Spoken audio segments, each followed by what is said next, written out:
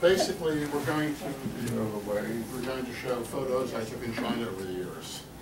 I'm from Philadelphia. But I worked in China for more than 20 years as a biochemical engineer with the Chinese pharmaceutical industry.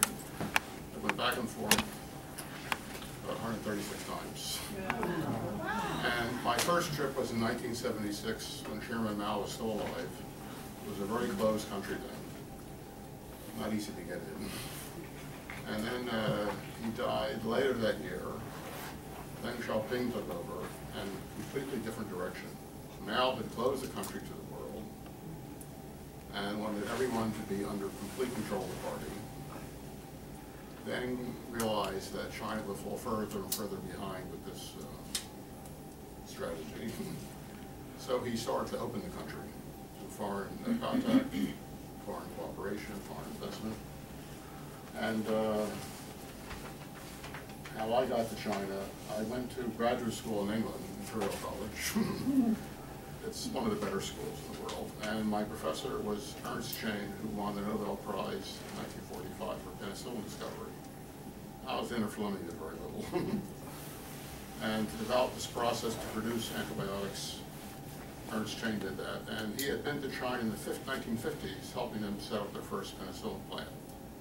So I was the only American on campus at that time. So he said, would you like to work in China? How did that happen?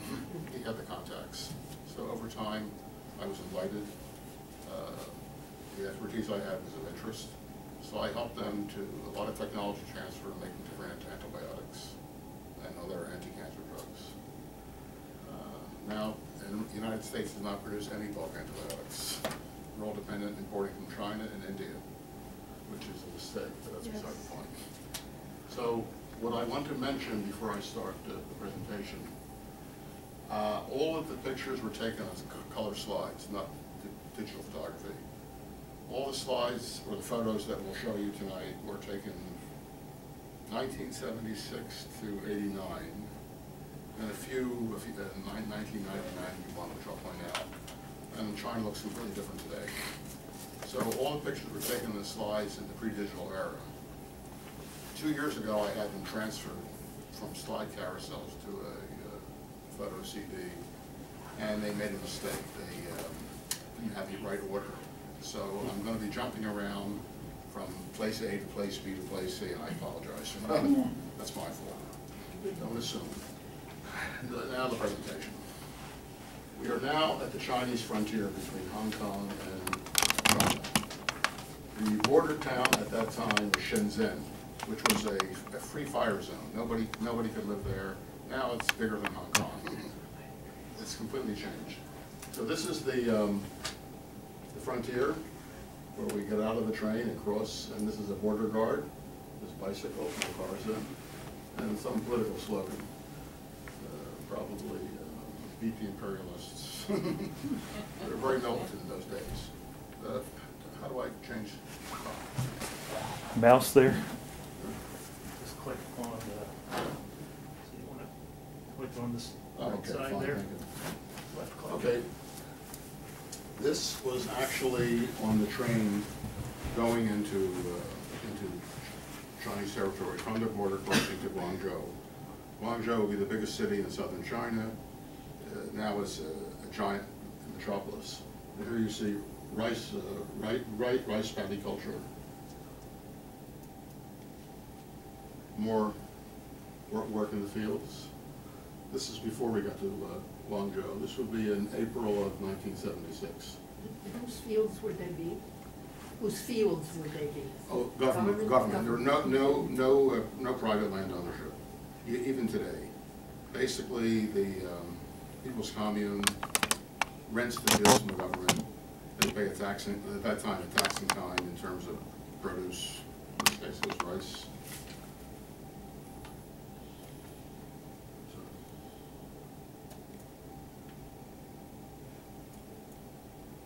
Left button, What? left button. Oh, left, uh, You have to get it, yeah, there you go. Okay. This is on the road to Guangzhou, the train, the trip to. This is a rural construction.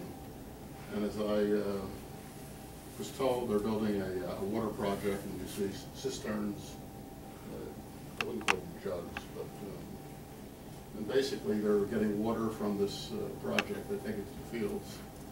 It wasn't pipe water, they're taking, you know, jugs and so forth. This is nineteen seventy-six, I'm sure this one changes. Yes? I was just thinking how heavy it would be. Yes, they are. So everybody's very thin. This is in Guangzhou. Um, Right across from the hotel, there's only one hotel foreigners could stay in at the time, only one hotel in the whole city at that time, the other dozens. And here's this poster you can see from the, you know, the size, it's, you know, larger than life. And here's a Revolutionary Guard with the sayings of Chairman Mao in his uh, left hand.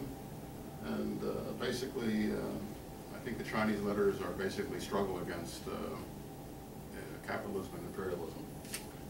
Very uh, stimulating.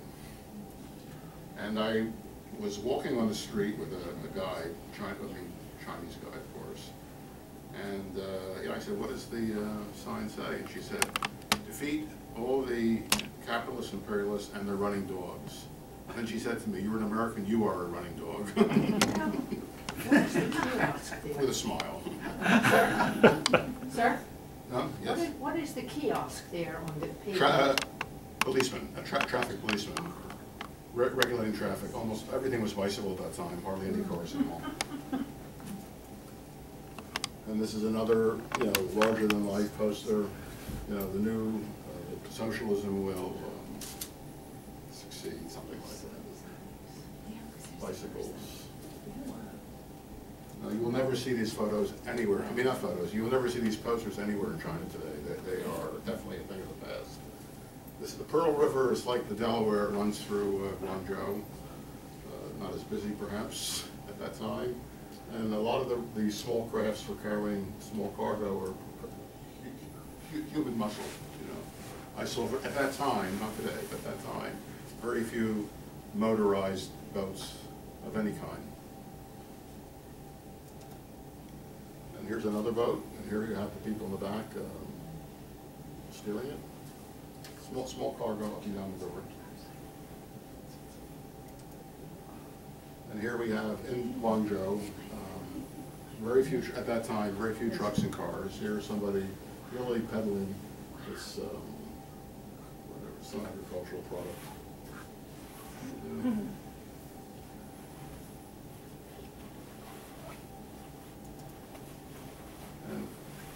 this is, uh, in, in in Guangzhou, here are people washing their clothing on the street, because you didn't have, um, public laundries and laundromats.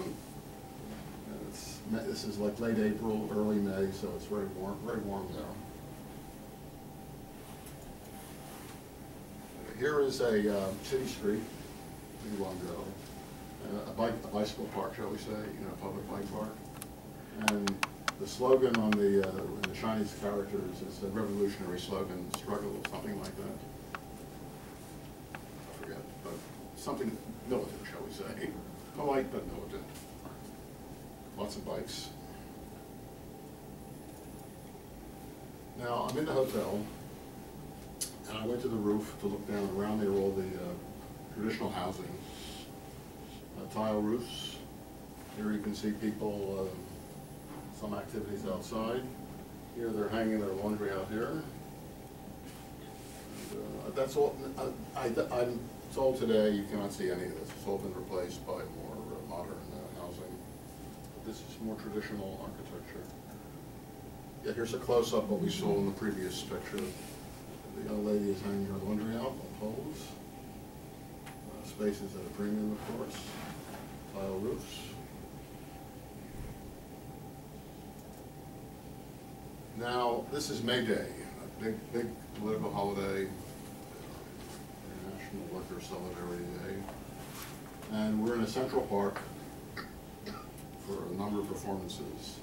And as a foreign guest, I'm being guided through, and everybody wants to see me. They hadn't seen many foreigners before. At that time, I had a fuller beard, so this was really a curiosity. It's a policeman with his bullhorn, people step back. And here we have a uh, traditional lion dance. This is May Day in Guangzhou, mixing of the socialist message on the large characters with the traditional lion dance, with drum beating with drums. Close up of the lions.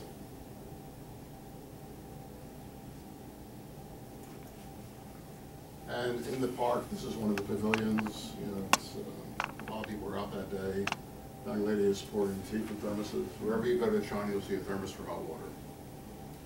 Saves energy.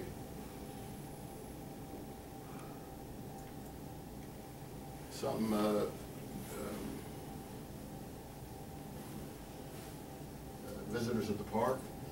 The red uh, handkerchief kerchief, which is called a tie, that's a, he's a young pioneer. This would be a Communist Party youth organization. Pioneers, a red tie. Now there's a concert, and this is a choir singing revolutionary songs. And this is the foreign audience that were invited to hear these uh, revolutionary songs. And this particular act, this is a shepherd from Tibet. He's saying, I remember they were telling me he's how happy he is, the party is guiding him in life, you know.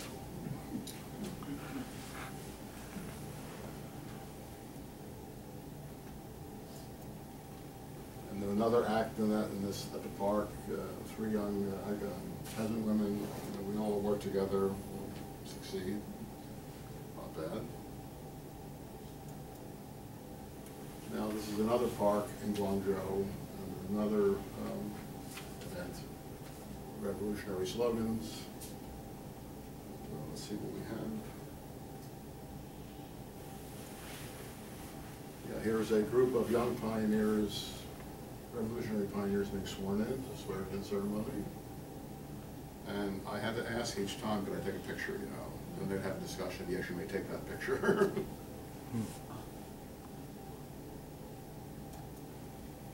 This is some of the posters in the park.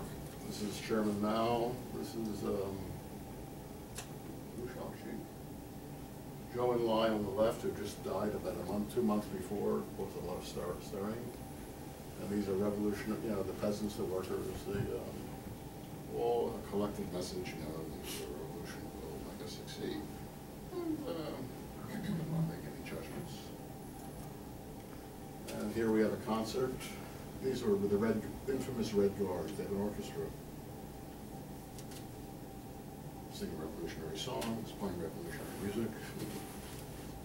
And, uh, crowd sing. This is at the Guangzhou Zoo. This is a uh, panda, giant panda. I don't know if he's a party member, but yes. Did they let you walk around un, unaccompanied, or did you always have to have a hand? Well, I'll put it this way, I don't speak Chinese even today. It's a tonal language and I cannot hear the tones. I can't read the, the signs. So it's my benefit that somebody, otherwise I'd be in the middle of nowhere. But I would say, I want to see this, you know, and uh, I never was re- refused. Uh, I was not in a tour group, I was by myself, so at that time there were no tour groups. Not- Not at all. Yes. And then this is a, they had a concert one night, some revolutionary performances. This is a revolutionary opera, revolutionary theme. Another one, the shipbuilders of Shanghai. Uh, The colors are not as sharp as I would like them. And she's doing a flying leap. These are all welders. They actually had welding on stage, if I remember. Some metal plates. Yeah. This is another performance. These were uh, herdsmen from a border region near uh, Soviet Union at the time. Um, The relations with Soviet Union were very, very bad at the Then they showed us a school, and these are the children greeting us.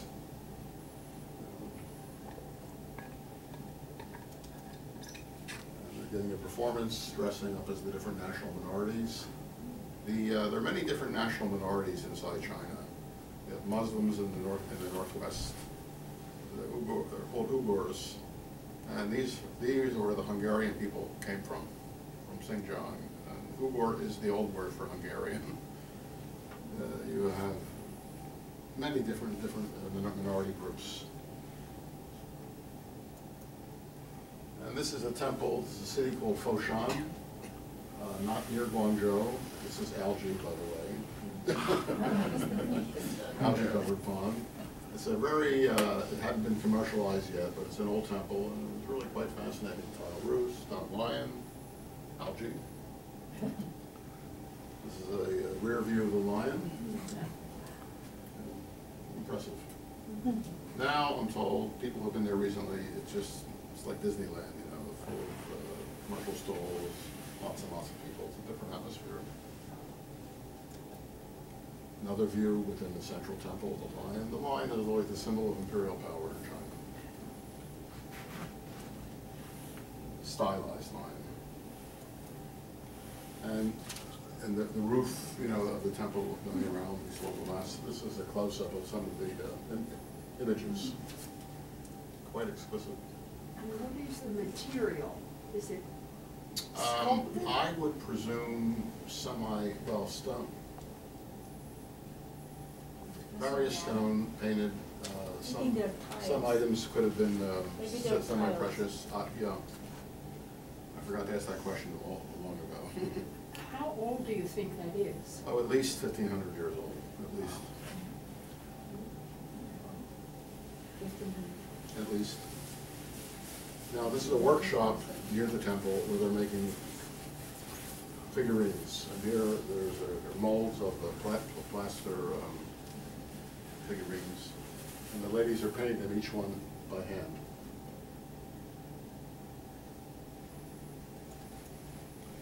Here's a detail. She's painting uh, this figurine probably for export. Uh, and this is a elephant tusk. I'm sure the elephant misses it, but um, the figures are re so revolutionary figures, or horsemen. You know, it's, it's, a revolutionary scene, probably from the nineteen twenties, nineteen thirties.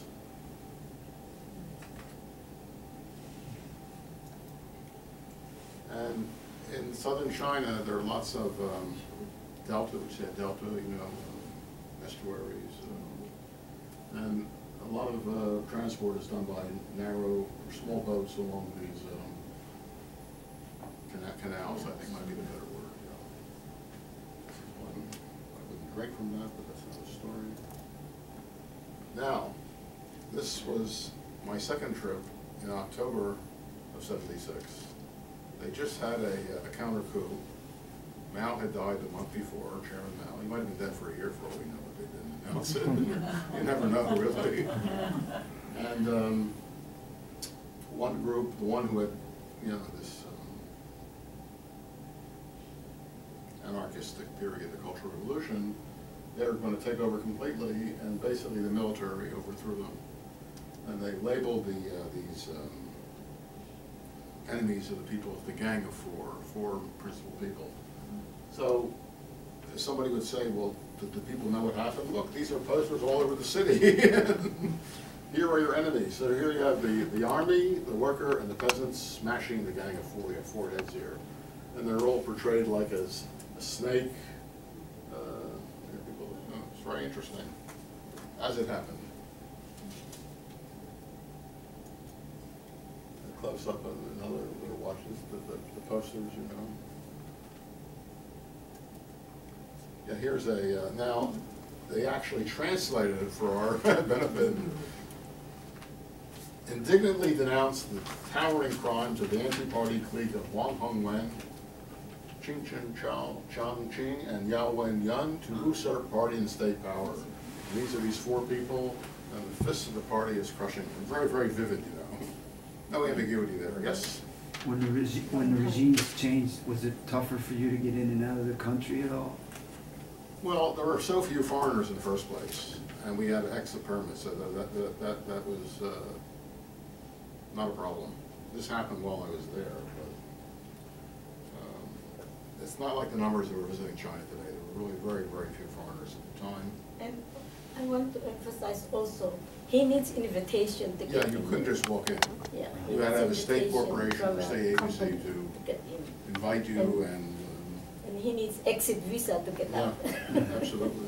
Thank you. And here's a- another, um, smash the gang of four, these are the four people, one that's portrayed as pest, snake, um, insect, a rat, a fly. No throwing punches there.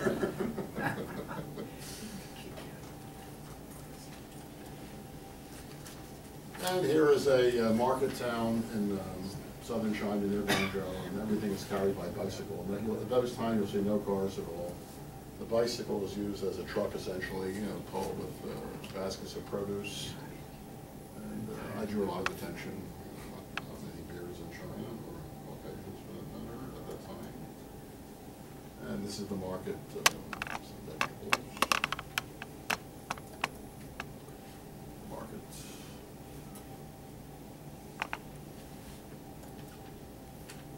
Market. Okay, now, uh, this is outside of Guangzhou, it's a rice field, they're planting rice and rice paddy.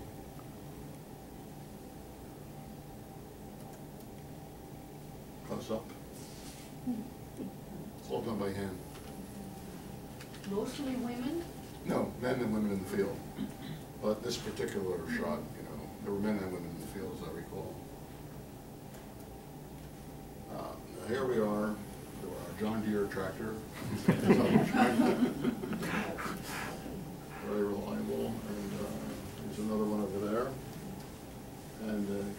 reflection in the. And I would assume it's still pretty much the same way today. I don't believe, from what I understand, the, uh, the agricultural sector has been that mechanized because it would create a lot of unemployment, you know. Keep people busy, keep people employed. So now, but in the cities, it's a different story. Industry is very mechanized now. It's a different, different situation. But this is uh, May 1976.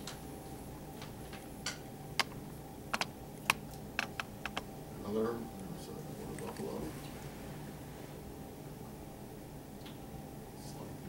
GMC of, uh, of the time. I believe they got three crops of rice in southern China, three crops of rice a year. Now, we're in Beijing. This is 1979.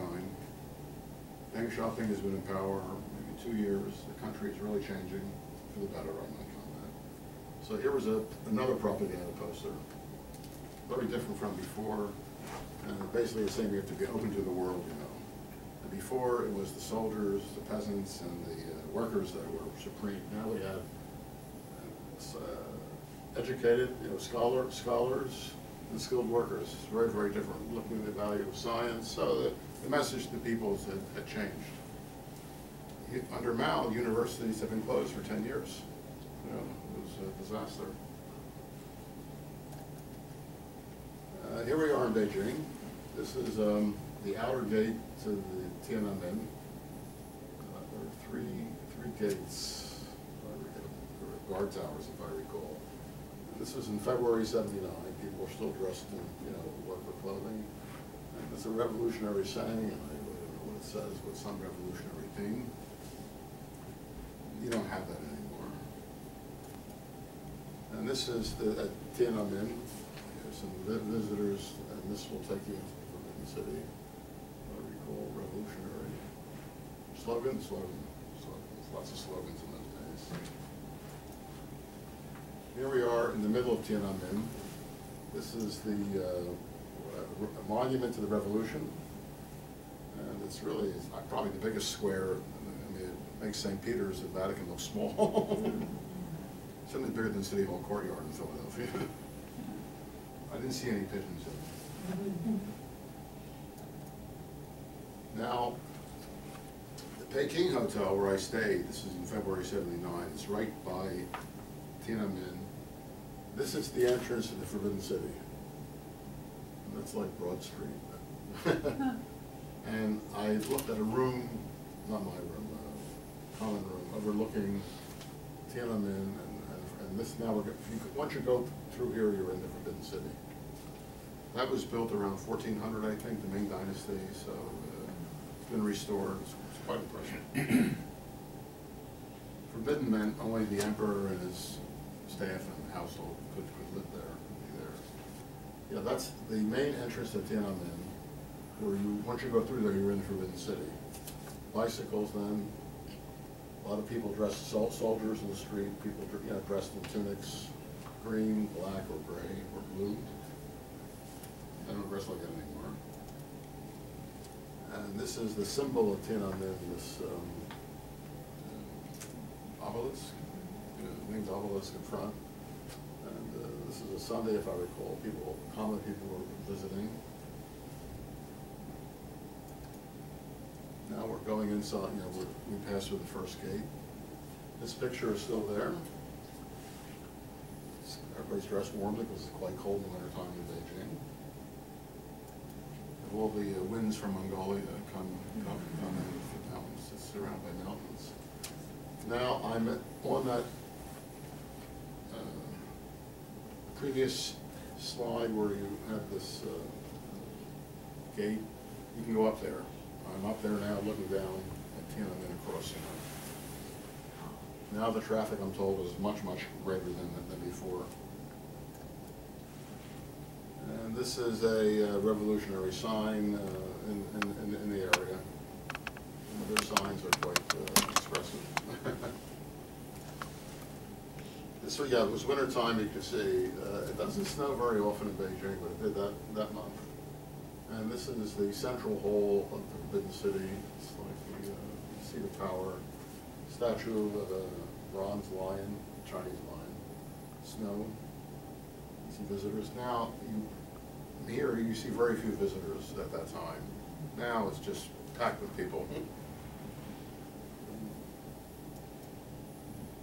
And we're going through the Forbidden City, you know, to the, to the main hall. And this is a, there are a lot of pavilions in Forbidden City, very, uh, different, a lot of variety.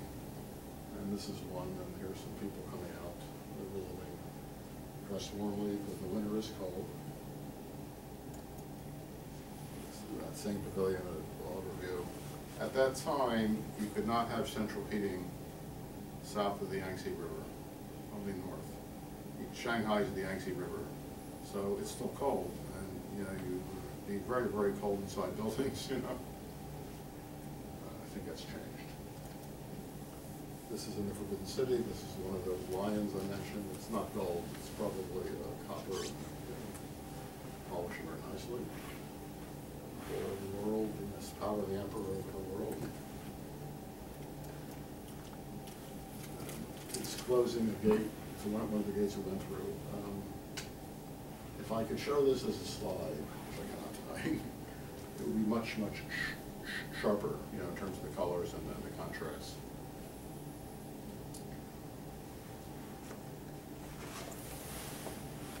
And this is the famous Wall of the Nine Dragons. This was 1400, 1425, something in the, time frame. And there are nine dragons, each one has a different uh, significance, which I don't recall. And here's a family visiting. Ah, here's a close-up of one, one, one of the dragons, symbol of the emperor. Is that tile work? Yes, yes, that's all tile, yeah. You won't find it at Walmart. And here we have, um, this is really the center of the of the Forbidden City, it's all this, uh, Cobblestone? cobblestone, right, cobblestone. People are dressed, that are, this is how people, people dress the same way essentially, in military tunics before. It's really a vast expanse. And here we are, at one of the, that building that we came from, looking down on part of town Tiananmen. These are two soldiers having a, uh, having a, having a look. Uh, Similarly, soldiers and their families. And uh, a lot of soldiers are not necessarily combat soldiers, but civil servants, you know, uh, military, ran a lot of factories. Some of the pharmaceutical factories I worked with were run by the military, you know, great enterprising. They made bicycles, they made shoes.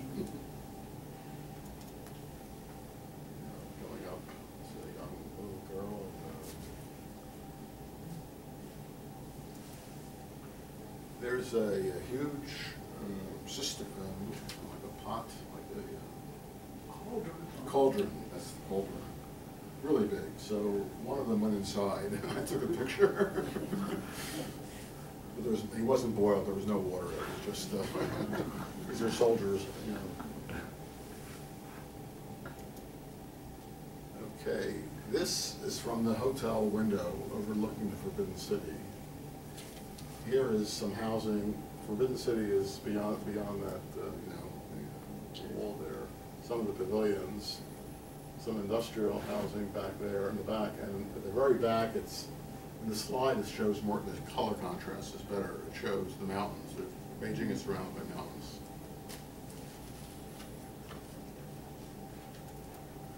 Yeah, here's a better view.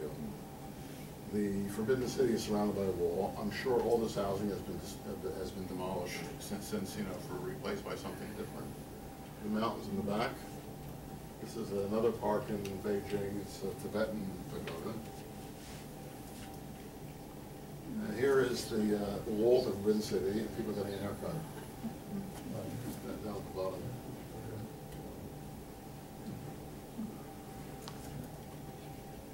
up.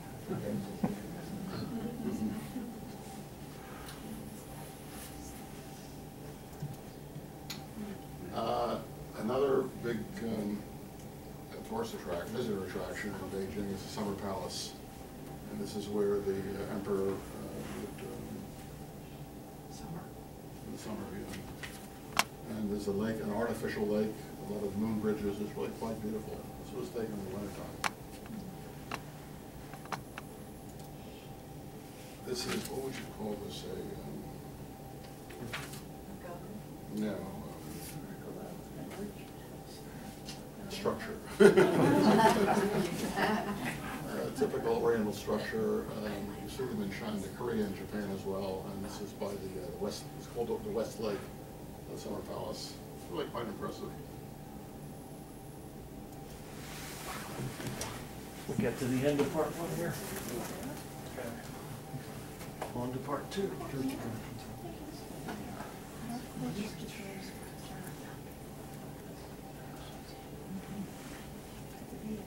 Oh, okay, that's what they did, yeah. Yeah, it's three parts.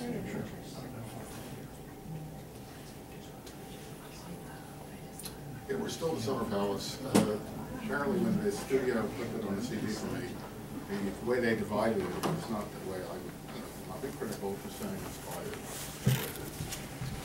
Uh, This is the Summer Palace, the lake, you know, this is winter time to go to there. There are boats you can rent.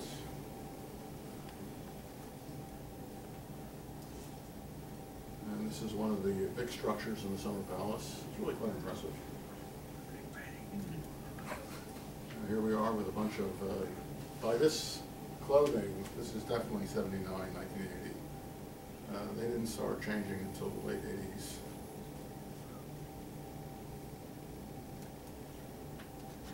Details, some of the structures there. Individualism was frowned upon, you to be a part of the group, so you dressed the same way at that, at that time. This was more political than cultural. It's still within the Summer Palace, and that's the city of Beijing in the background, all those tall buildings now. Now, this is, um, by the Summer Palace, it's one of the imperial lions guarding, uh, you know, the, the, uh, entrance. This is, uh, Moon Bridge over, uh, London Canal, or the uh, approach to the lake in the, Summer Palace, some of the carvings, quite beautiful. Now, the, uh, when the, when the foreign powers had um, besieged Beijing in nineteen hundred, the Boxer Rebellion, the court said, well, we must prevent this, we're gonna raise a lot of money to, to defend the know. And what did the Empress, the Dowager Empress, she spent most of this money building this marble boat. So it's a monument to corruption, really. Yeah. In wintertime, you can see by the snow. Here we have soldiers and their families visiting the summer palace and the marble boat. And the message was, this is what corruption, you know, it's a different message at that time.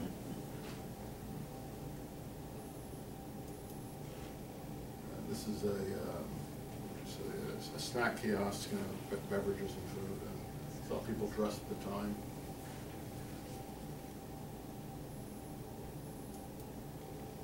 Now, we are now in Hebei province, uh, just as Maryland and Virginia surround DC. Hebei's province in northern China surrounds Beijing. And uh, this is about two hundred miles north, south, south of Beijing, the provincial capital of Shijiazhuang. Anyway, and this is an old um, pagoda temple, um, I would say, before the Ming Dynasty, so probably at least a thousand years old. And it's being restored, and here are some soldiers, or people dressed as soldiers around there. And here are some people having their picture taken, you know, the day out, the day out to visit, this is in Shijiazhuang. So I got a uh, curious look. And This is within the same temple complex. Now, during the Cultural Revolution, all these places were shut. They were considered decadent of the, uh, of the old, the old uh, age era. But after Deng Xiaoping took over, he opened them up, they were all re- restored open to the public. And This is in one of the, one of the um, buildings of the temple, the large stone tor- tortoise. Very slow, he's not moving at all. And now, now this is where the, the order of the slides is changing a bit. We've left Shijiaz, we left Hebei province. We're now in central China, in Suzhou.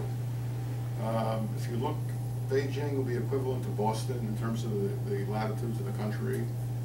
Uh, Shanghai would be like in uh, North South Carolina. And then, and here would be, um, in that same latitude, and then Guangzhou would be like Florida, you know, it's, it's much more southerly. But Suzhou is an ancient capital of China. It's a very historic city, very cultural, a lot of canals, and a lot of traffic goes through these barges, you know, a lot of, many moon bridges over the canals. Here is a uh, temple, midday, a young biker visiting. Uh, Same temple, he's parked his bike, you know, he's. This was nineteen eighty-three or eighty-four, I would say. Now, this is a temple, these are all Chinese, these are not tourists. The Temple was open, so a lot of people are going to burn incense sticks to honor their ancestors. This is a priest, the temple. Uh, Mao's time, he would have been locked up, and sent to a, sent to a farm to work. Were- All these monasteries were closed. Here's a lady burning candles.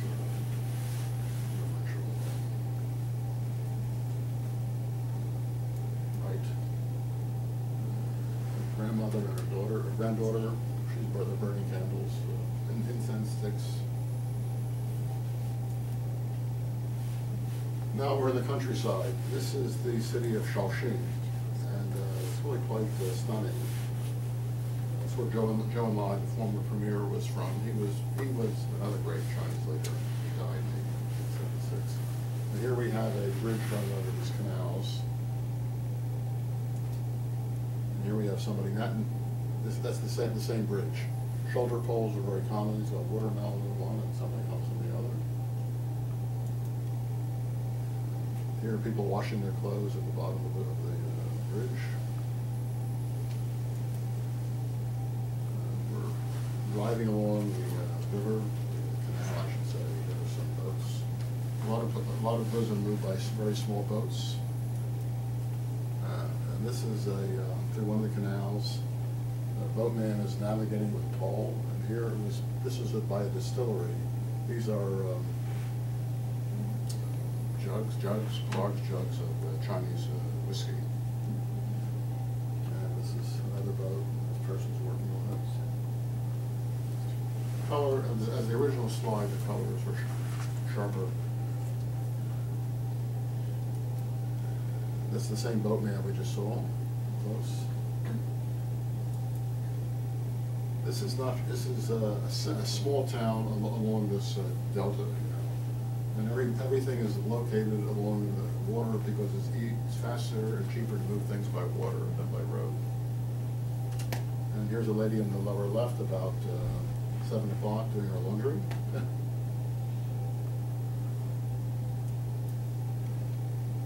This is uh, in the same area. It's like a park. Here we have um, Moon Bridge. This is, I would say, the commercial part, part of the, of the uh. We have somebody moving a boat with, you know, all, all, all all by mu- muscle, muscle power. Here we are, he's gonna pick up passengers. This was in eighty-eight, I think. 88. Yeah. Same area, just different. view. Scenes still exist, skeptical. Now, we're skipping a little bit, this is in uh, Zhejiang province. I would call it the New Jersey of China. Very industrial, but also very nice, and this is the city of Hangzhou. Hangzhou was a former capital in ancient times. It's really the most cultured part of China. And there's a large lake, the West Lake, and there's some people going down the lake. It's really quite, uh, quite stunning. And here we have somebody going, uh, moving goods by, you know, by poling it un- under one of these, uh, bridges and pedestrians. This is a, uh, temple pavilion in uh, Hangzhou. Have the, uh, images of dragons on, on this, uh, marble, close up.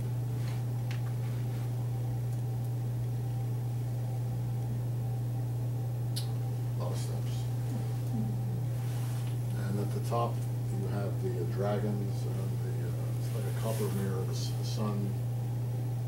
Very traditional symbols of imperial power. And here we have the uh, same, at uh, sunset, the image of the dragon, and it looks like the dra, like a dragon is swallowing the sun.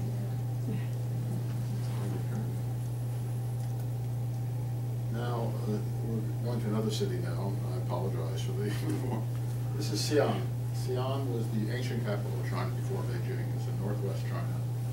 China- This is where the terracotta army is, you know, the, uh, but the city itself, it's a, it's a walled city, and um, it's really the, the old, it's much older than Beijing. And here we have, uh, before all the tourists started coming, it's about eighty-five, nineteen eighty-five. Um, actually industrial buildings inside the city.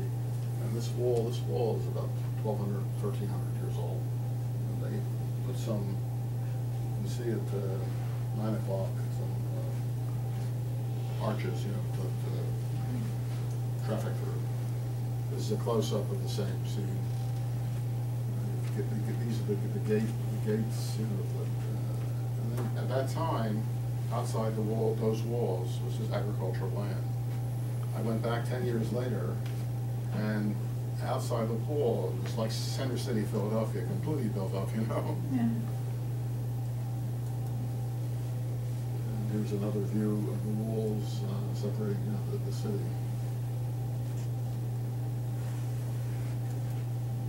Uh, From, I'm, I'm- we're walking along, along the wall. The wall, the circumference of the wall must be about ten to twelve miles, easily.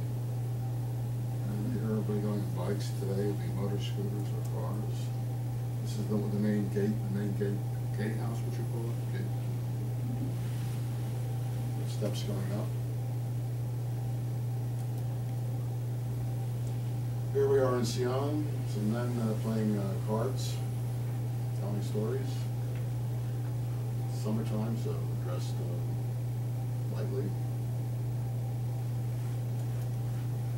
And I was, this is only a few miles outside of Xi'an, it's a a pagoda, it's an ancient pagoda. And today I'm told there's just like apartment houses, you the entire, but here you can see it in a- a less spoiled, uh, less spoiled way.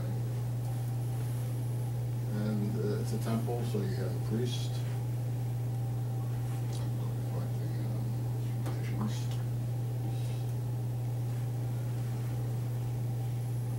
There are a lot of, around Xi'an, a lot of parks, there's some artificial lakes and so forth, and uh, this is one of them.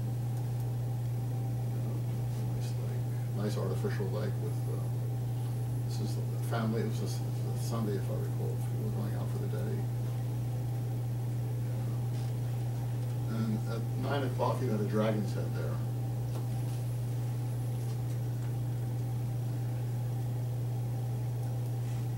Yeah, here's a detail. There's a child on top of the dragon.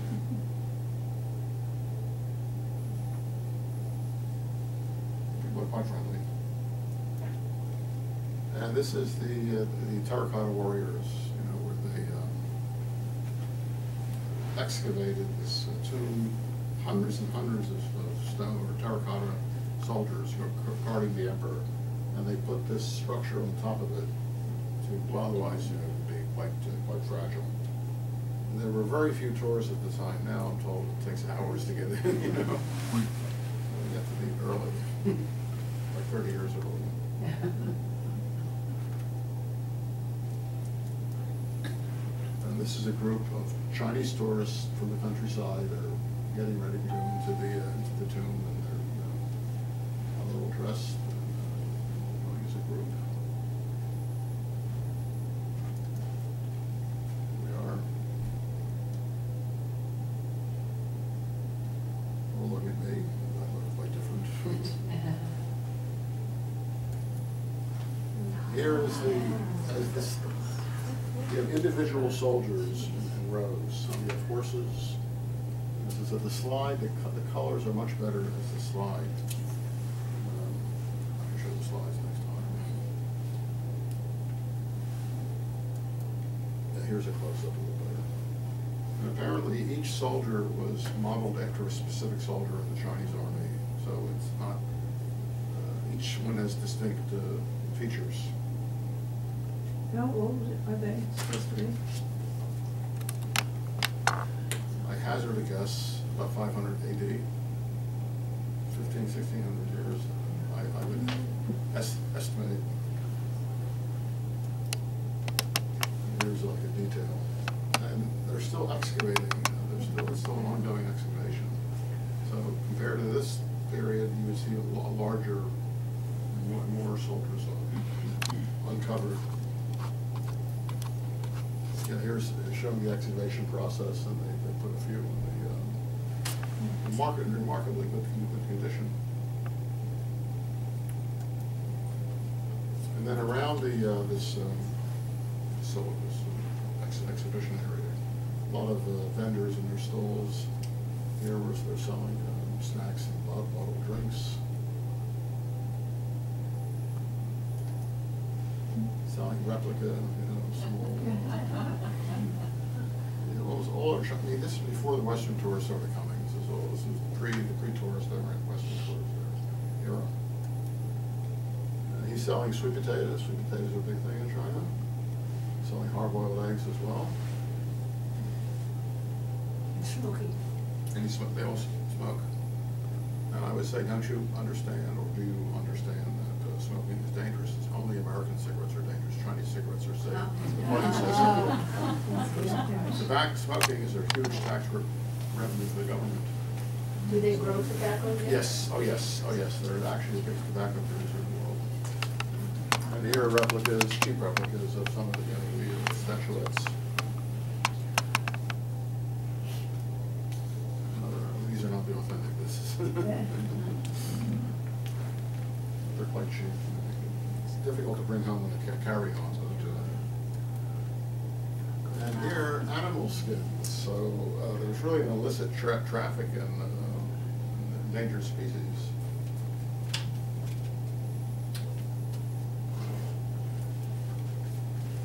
These are all fur, these are not, these are real furs. Uh, Plus all the knickknacks, you know. Now, we're in the, cut- now we're leaving, we've left Xi'an, we've left that area. We're going into the center of Shaanxi province, called the Qinling Mountains. and this is literally the middle of nowhere. It's a military area, but they grow medicinal plants that are used to produce anti-cancer drugs, Taxol. And we're going through the countryside to get to this uh, factory the Chinese army actually runs. So, but this is a typical scene in northern, uh, northwestern China, different from southern China. Well, the, the climate is different, you know, the, uh, building materials are different. Here we have corn, they don't grow corn in the south. Corn is a major crop. And corn was introduced to China by the Spanish from the Philippines. The Manila Galleon took corn from Mexico to the Philippines in the fifteen hundreds, and then they sent it to China where they got silver, they, um, exchanged for porcelain, silk, and so forth.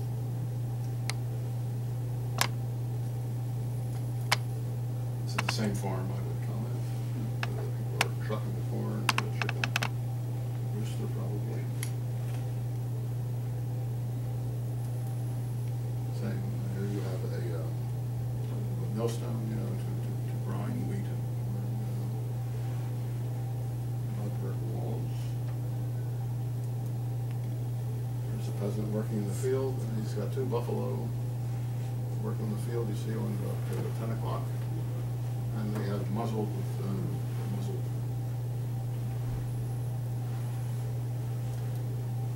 And Here's another shot of the same. This is a restricted area. You will not see foreigners in here, period, but we had a project in the factory, so we could go. And why is that restricted otherwise? Uh, Well, one reason is there's a big heavy water, nuclear heavy water plant, which is, you know, has military use as well as civilian use, and other things. Can't- You can't go there today, either, it's impossible. Now here, this is a road, not much traffic, and peasants are putting um, their wheat there to be threshed by old cars or buses driving by, you know.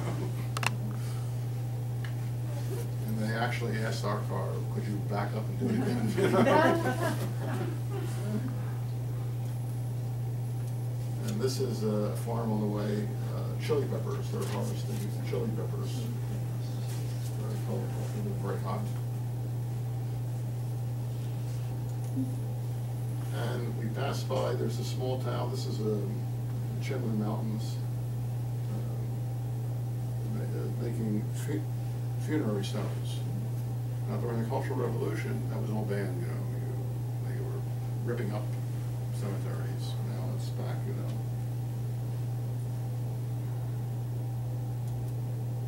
And here we have in this village, well, it's a small town, the men playing, uh, some game, card game probably. It's off the tourist track for sure. This is a funerary arrangement. Uh, This is often presented at Chinese funerals. This is really the countryside. And here we have a young man, the vegetable seller.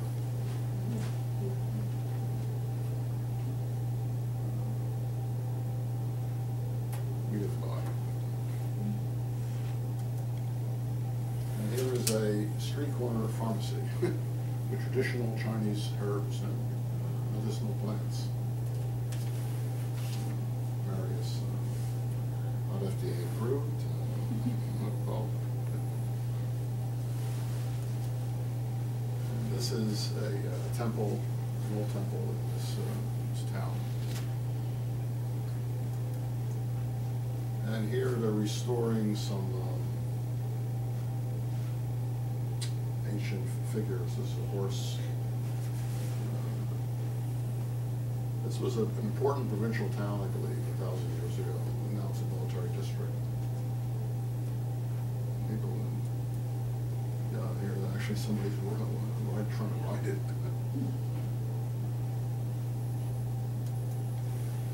Yeah, now we're going into the um, highlands in this area where these plants are grown, you know. Um, Cactus the bark of a tree. Uh, Bristol Myers Squibb had pioneered Taxol from a yew tree, but when they take the bark to kill the tree, so they had to stop it. But here they found a different plant producing the same product. It was a very interesting project. And Here we have terrace, terrace, um, field terraces, you know. This is the morning, morning, cl- morning clouds breaking.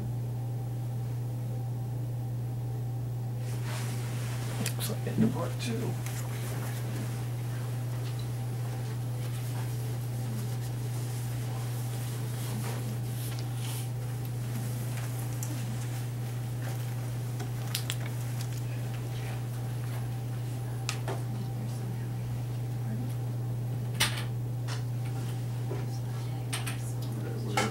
This is in the Qinling Mountains. These are not, these are not high, high, high mountains, but it's a typical scene where the clouds rise, rise in the morning. Quite colorful. And now we're in a terrace field, probably corn, it's a very large corn growing area. Farm, uh, on our way to the factory. Here's a peasant uh, herding his cows along a stream.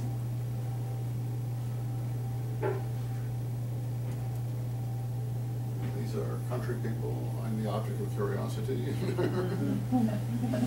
Here's a baby in this uh, blanket. She's going to sell me eggs from her farm. But this is the typical countryside, you know, untouched by foreign influence. Interesting fellow. He's going to market that day.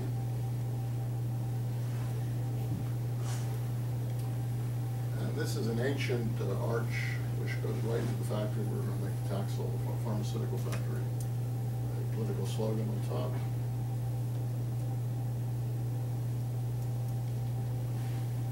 There's a temple here also. The factory is like right next door. Corn drying on the left. Yeah, here we go. Here we have vendors. Bingo cards perhaps. This is really old, this is at least twelve hundred, thirteen hundred years old. Maybe even little older, and this is definitely not touristic area. Here we are, it's inside the, uh, complex. Now we have the fact, where they're producing, uh, pharmaceuticals, terrace field, very picturesque area.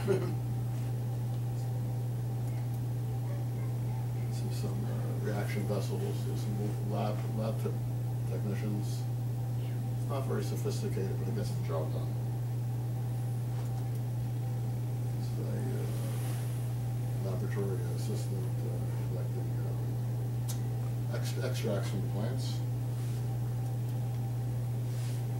It's an army-run plant, so they had a um, morning formation, we're all here, and not get to work. So they're in ar- army dress, Are they all males yeah. at that time? Those ones in uniform, but there's still women who work, work, work in the factory though. Yeah. Now, I am sure we've went to another province, this is an Anhui province. This would be equivalent to uh, Ohio. So along the Yangtze River. Um, I did a lot of work there. Uh, It's a large coal mining region, so a lot of industry is there because they have the coal. China is the biggest coal producer in the world, but compared to American coal, it's very dirty, it's very high sulfur, it's very high ash content, so it just smokes everything. Um, And here there's a, um, the city of Hefei, the capital of the province, the lake, artificial lake and a, moon bridge, and we got some people playing on top. This is this lake in Hefei, I mean, this park, little park. Uh, here we are on the streets, This is the laundromat.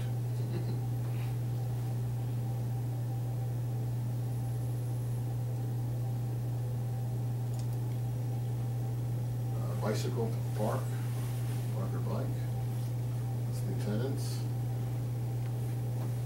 We're still on, Anhui province, FA, city FA. Here are the gentlemen selling candied apples, you know, on top. A lot of apples are produced in this area. It's, uh, more climate similar to the United States, or our part of the United States. And Here is a locksmith. Contrast a little better, you can see him, uh, he's making some locks for a um, policeman.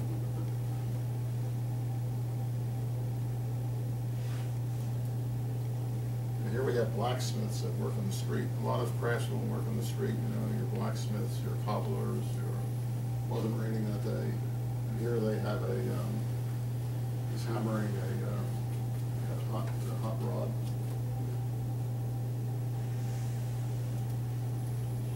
A little closer, glowing here. Child, know, families in the background. Same, you can see the glowing there, right, right, right in the center here, she has the, uh, hearth, you know, where you're, you're getting temperature up. Uh, Same scene, here she's making the hot coals. Young blacksmith's apprentice. Everybody smokes, everybody. And Here we have a shoemaker in the street, I mean, not in, the- working on the street, in the town.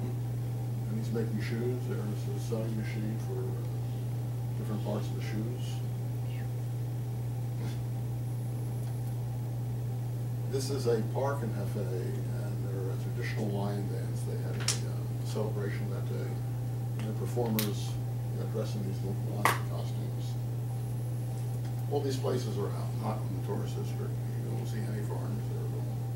And we have two performing lions, and not real lions, of course, but they're dressed as lions. Here they are taking a break.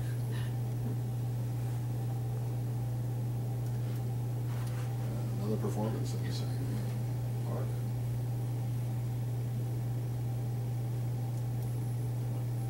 And these are uh, minority, minority, Chinese minority from Yunnan province in the southwest. You'll see, they look similar to people and dress similar to people you see in Laos and Southeast Asia, you know, northern Vietnam. Very elaborate head headdresses. Here we are, close.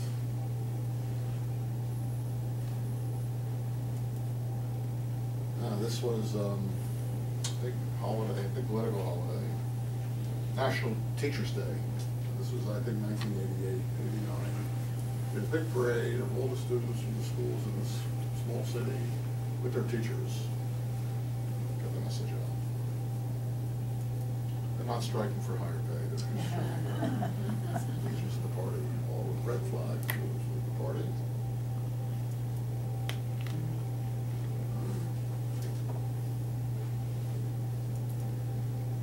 The youth group, I mean, those are senior students in the previous slide. Another group of girl students with their teacher, pom, pom pom. Doing a performance, you know, wait, waiting, like you see at halftime in a football game. Here, interesting contrast, an old lady, and, uh, while the students are passing by with a, a- a political banner. Now, we are still in Anhui province. This is not the order I wanted to show them, but this is another very old temple. And this is one of the priests who is, um,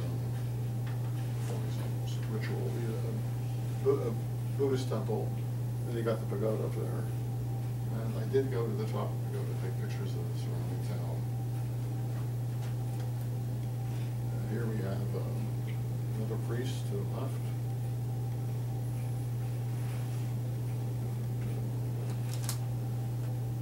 Off the tourist route. Here they are praying.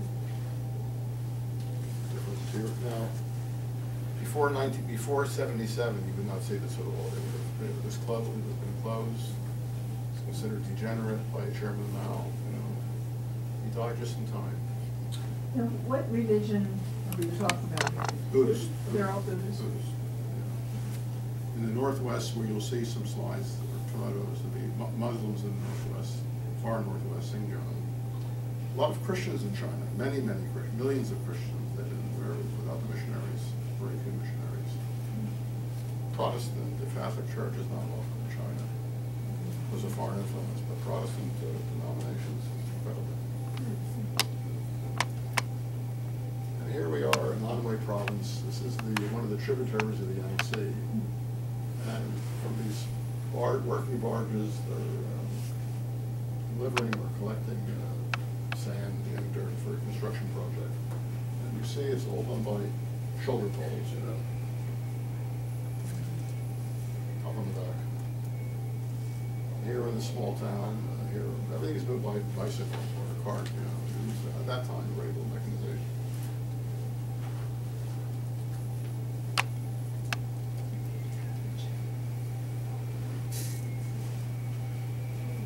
Interesting, interesting people. The same way, you know, these military like tunics. This- This is a, for some, some, some food, some, some, uh, some, some, some snack, you know, thermos bottles for hot water and tea. She's at the construction site, a lot of construction workers are women. She's carrying something, uh, shoulder poles to, to move dirt, move dirt, sand, I would think. And, uh, somebody, a little around. This is typical thing, how things are moved in the countryside. And this is in Anhui province, which is also the rice growing area, the rice paddy, as is working there. Without the buffalo, I didn't see a buffalo then. I don't say they weren't there, but uh, not that day. This is a full production team, planting rice, all done by hand. And this is, the- actually, the rice is being, in this scene, the rice is being harvested in these uh, baskets. There are mountains in the background, they're very misty.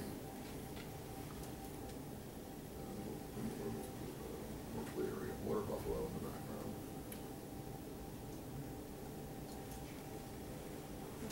And we stop by to say hello to somebody. And he's got, he's, he's buffalo and he's got a little boy on the, um,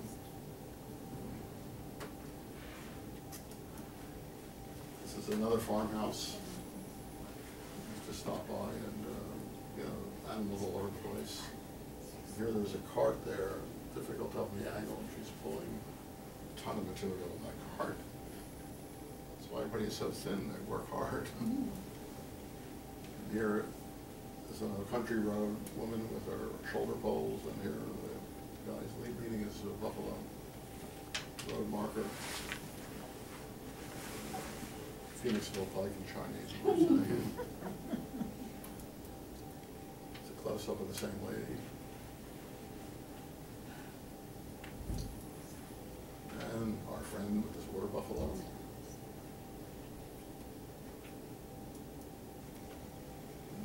About to cross the road. Now, this is in wintertime, that was summertime before, another part of Anhui province. This young lady in this farming community is going with buckets to collect water from the communal well. And here she is, the well is here. She's gonna take the water, well, I mean, imagine like fifty gallons of water, is very heavy. Uh, And the vegetable, winter vegetables, scarf when it's cold outside. And it's on the Yangtze, so no central heating, it's, you know, so it's cold. This, now we're in Xinjiang. This is the far northwest of China, borders on Kazakhstan and Turkmenistan. This is the Muslim region of China. The people ethnically are not Chinese, they're Caucasian. They, uh, Muslim, Mus- conquered by uh, Muslim conquerors a thousand years ago, fifteen hundred years ago. But the Chinese dominate, dom- the ethnic Chi- Han Chinese dominate the area. It's a sensitive border area, very rich in oil and minerals.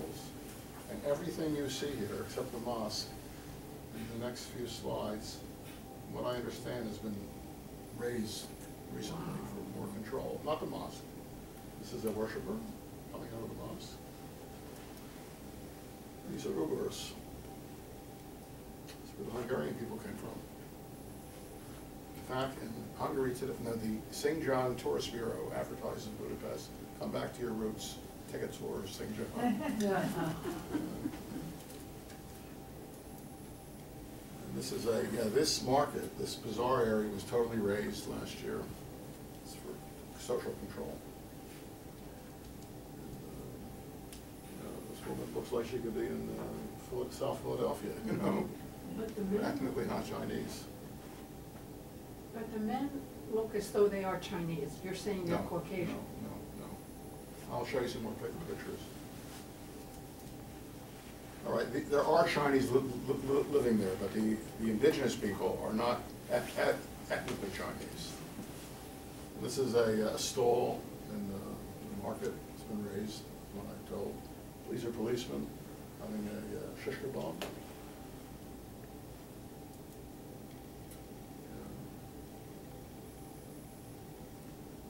Pat's Steaks in China. This is Main Street, and Or- Urumqi is the capital of Xinjiang province.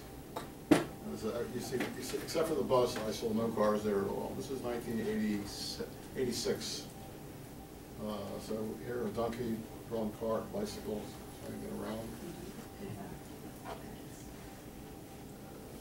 Feature, well, th- this is, the color contrast is not as good as I would like it, but these features is someone you would see from the Middle East, you know. So These are, you know. Here we are, uh, traffic on the main street at midday, driving sheep to the market.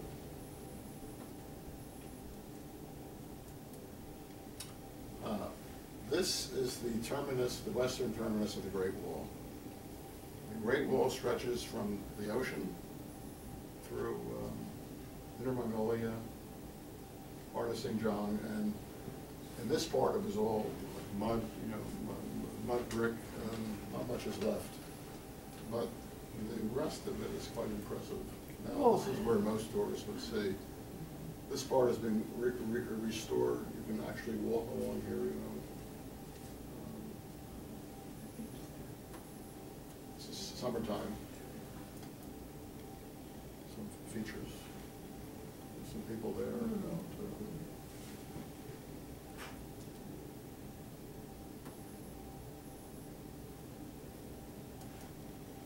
Here we have some people walking on the wall.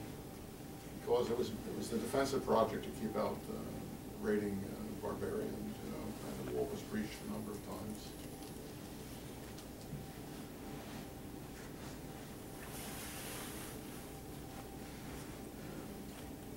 Tourists now, of course.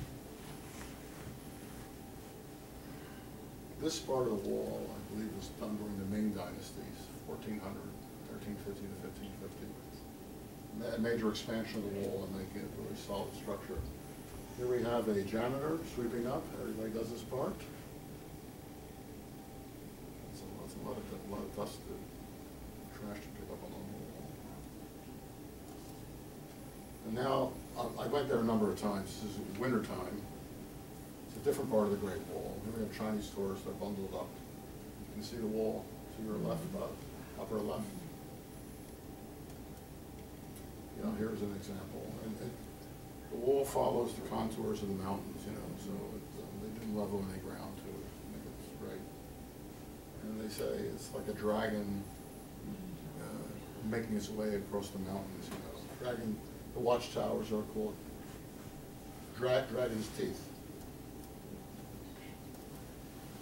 Here- Here we are on, on the wall itself.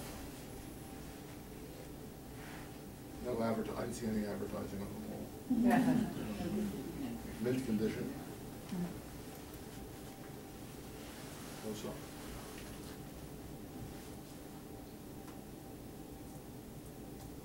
I think it's the last picture. Those, you know, contours of mountains, and you see different levels, but these are the guard towers. And actually, you actually could ride a horse along the wall, and you get troops along the wall. I think that's it.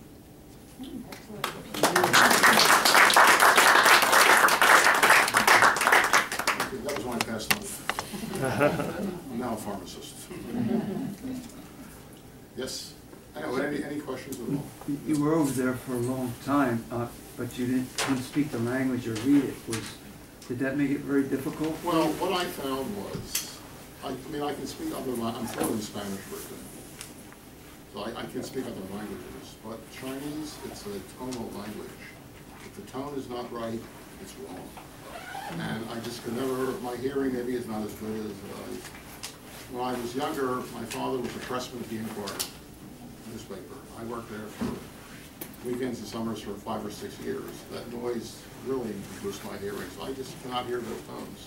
But I also found that if you did speak Chinese, at a business, we're looking at business meetings or technical sessions, they will get you off signal. Let's talk some trivial matter, some, some funny joke, some, now there's no time left. The whole meeting's been consumed, so please sign this. So I had my own staff of, you know, Chinese, and they, they would give me an honest translation. And then if something was disagreeable, I would say, well, my interpreter made a mistake, I didn't make a mistake, you know? A lot, a lot, of uh, kabuki theater, but I found to get the work done, it was better going through an interpreter. Someone who worked for me, not, not, not for the government, you know? And, um, it worked, for me, it worked successfully for a large number of years, yes. Why no Catholics? Why no Catholics?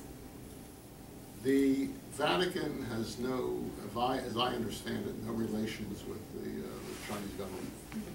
And it starts with the Civil War when the communists won in nineteen forty-nine. The, um, Protestant churches were, in China were passive, you know, uh, you know, the leaders. Where the Catholic, um, parish, parishes, they raised their own armies to fight the communists. So they did not stay neutral. And also, they don't, from what, I mean, I don't think anything has changed at all, they don't want a foreign-controlled entity. The Chinese churches are controlled by the, gov- when I say controlled, I mean they're not under foreign uh, ownership or influence, but the population, Chinese po- Christian population in China is enormous. Really, really, really big, which is very interesting. Do you think Yes. the, uh, the Pope is a symbol to rival the, uh, Chinese premier?